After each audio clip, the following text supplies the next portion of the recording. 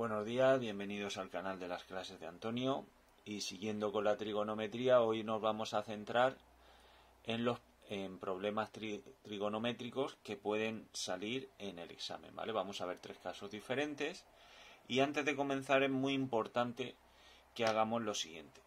Lo primero es que realicemos un dibujo con todos los datos y es, va a ser fundamental a la hora de resolver bien el problema y luego aplicar las razones trigonométricas adecuadas, ¿vale?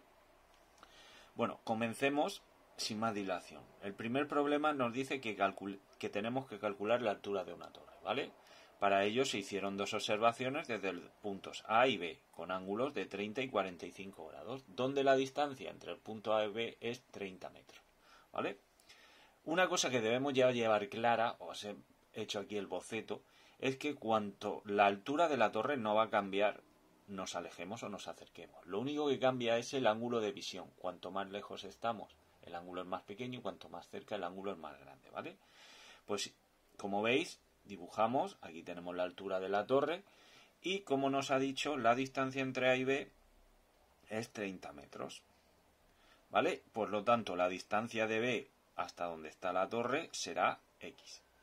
Y como veis, aquí nos salen dos triángulos, ¿de acuerdo?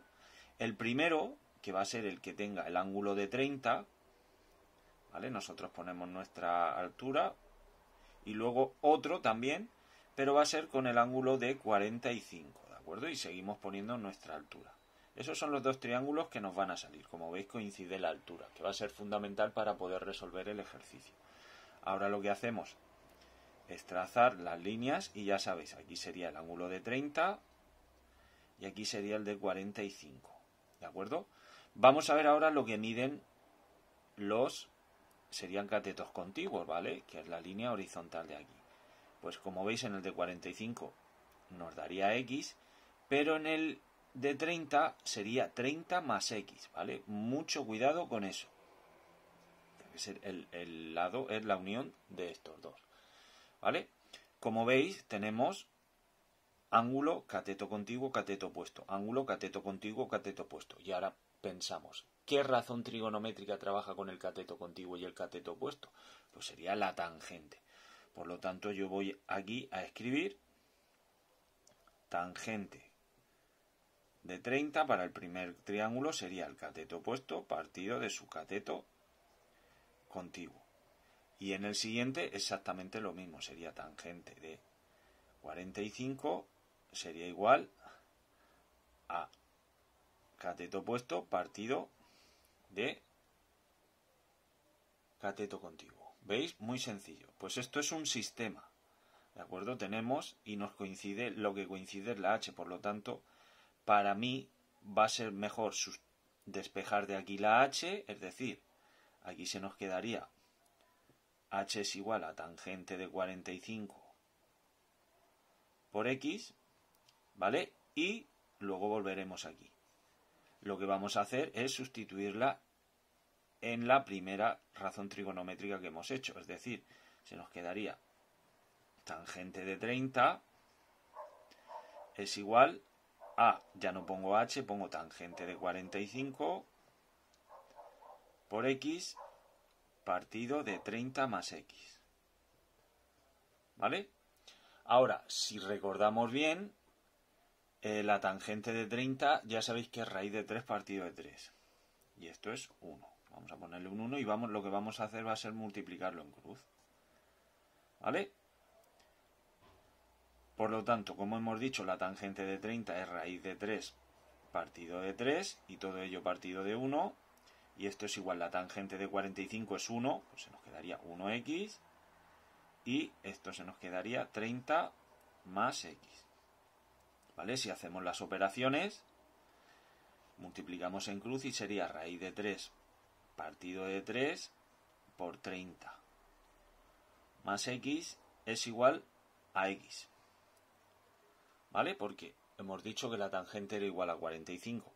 Por lo tanto, a la hora de multiplicar, si multiplicamos esto, se nos quedaría 30 entre 3 es 10, se nos quedaría 10 raíz de 3 más raíz de 3x partido de 3. Y eso es igual a x. ¿Vale? Pues lo que tenemos que hacer es 10 raíz de 3 sería igual a x menos raíz de 3 partido de 3x. ¿Vale? Echamos mano de la calculadora, 10 por raíz de 3 nos da 17,32. Ya para hacerlo bien. Y ahora raíz de 3 dividido entre 3 es 0,57 y si se lo restamos a 1